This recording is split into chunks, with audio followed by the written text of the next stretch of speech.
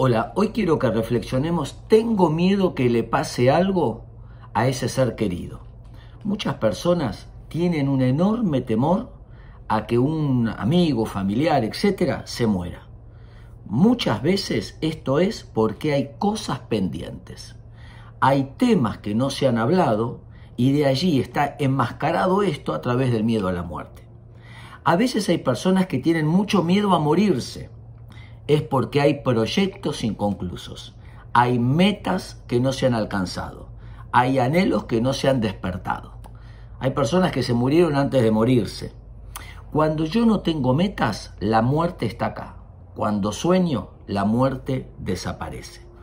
Lo importante, dijo Víctor Hugo, no es cuándo vamos a morir, sino cómo vamos a vivir hasta ese día.